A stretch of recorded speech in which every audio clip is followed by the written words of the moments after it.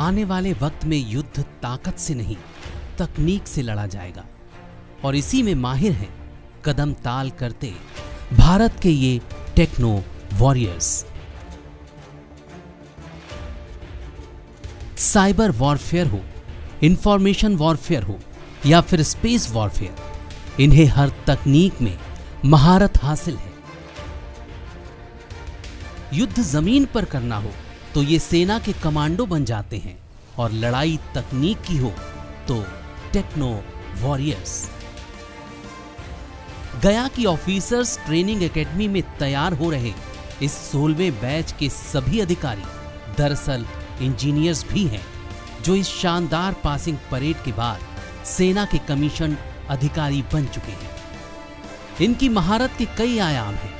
इनमें देश की आन बान और शान के लिए लड़ने का शौर्य कूट कूट कर भरा है। ये 100 किलोमीटर की रफ्तार से दौड़ते घोड़े पर बैठकर भी निशाना साध सकते हैं और आसमान में उड़ती चिड़िया को भी ढेर कर सकते हैं। साथ ही साथ ये साइबर इंफॉर्मेशन, साइकोलॉजिकल वॉरफेयर और आर्टिफिशियल इंटेलिजेंस के उस्ताद हैं। बड़े से बड़े आईटी इंजीनियर को ये मात दे सकते हैं और किसी भी हैकर का तोड़ इनके दिमाग में पलक झपकते कौनने लगता है? इन्हें तकनीक और युद्ध कला दोनों में बारीकी से निखारा गया है।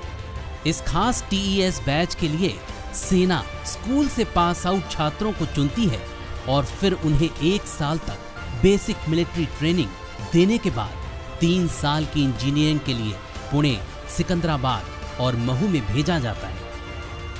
इंजीनियरिंग के बाद ये ओटीए गया में एक बार फिर पहुँचते हैं, जहाँ इनकी पासिंग आउट परेड होती है और फिर ये सेना में कमीशन होकर बन जाते हैं लेफ्टिनेंट रैंक के अधिकारी। यहाँ पर ये अलग अलग विंग में चले जाते हैं, लेकिन अधिकारी बनने के बाद भी इन्हें एक साल इंजीनियरिंग करनी होती है, ताकि ये अपनी यूनिट से जुड़ी बारीकियों को जान पाए।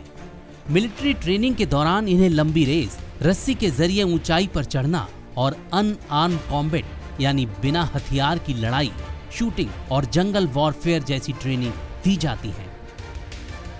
अपनी इन्हीं खूबियों के चलते ये कहलाते हैं भारत के टेक्नो वॉरियर्स